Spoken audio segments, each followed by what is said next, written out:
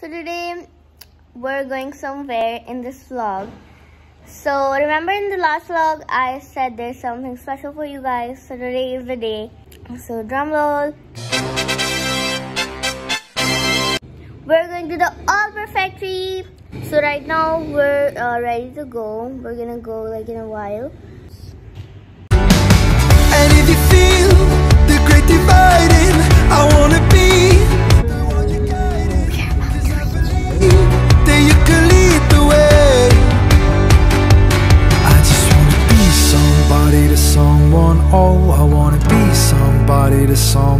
Oh, I never had nobody and no road home. I wanna be somebody to someone.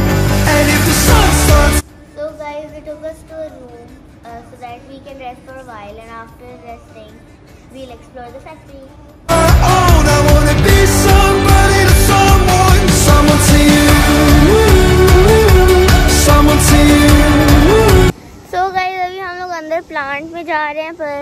Unfortunately उधर photos और video बनाने की इजाज़त नहीं है। तो अभी हम लोग जा रहे हैं अंदर और मैं बाहर के सिनेमैटिक्स पिन कर दूँगी। सो इन्जॉय दो cinematics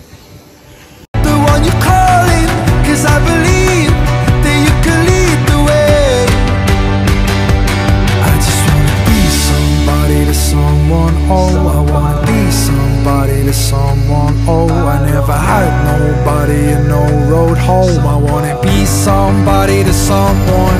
And if the sun starts setting so guys जब उनका मिल्क आता है फार्म से तो उसके होते हैं 28 टेस्ट और जब वो मिल्क टेस्ट पास करता है तो फिर उसे डालते हैं साइलो कंटेनर्स में जो कंटेनर्स मैंने आपको दिखाए थे उधर.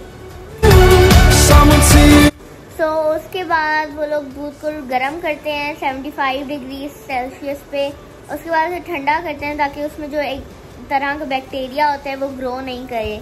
पर अगर उस कंटेनर में एक पिन होल भी होगा, तभी भी वो बैक्टीरिया बढ़ेगा। और एक साइंटिस्ट थे जिन्होंने बताया था कि अगर आप दूध को 75 डिग्री पे गर्म करेंगे और उसके बाद ठंडा करके फ्रीज़र में रखेंगे तो वो तीन दिन तक ख़राब नहीं होगा। तो फिर उसके बाद वो लोग heating and cooling heating and cooling process करने के बाद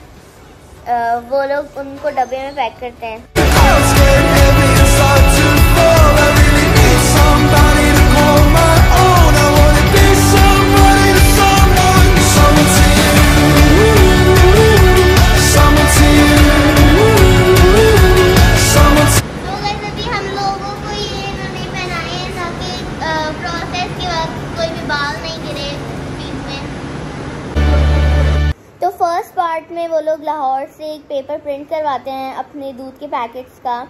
और वो अलग अलग साइज़ के होते हैं और उसके लिए अलग अलग मशीन्स होती हैं उनके अलग अलग स्टैम्प्स होते हैं साइज़ के।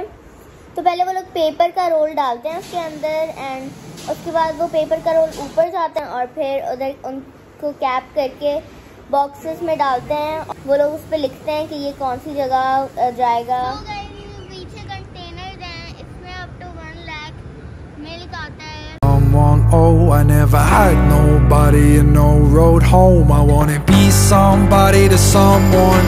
And if the sun starts setting, the sky goes cold, and if the so guys अभी मैं घर पहुँच गई हूँ और वहाँ पे हमें रिकॉर्डिंग करने दे रहे थे so this is the least I could do जो प्रोफेशनल लोग होते हैं वहाँ पे उनको परमिशन होती है अ, वहाँ पे वीडियो रिकॉर्ड करने की तो हमें बहुत मुश्किल से परमिशन मिली थी उधर।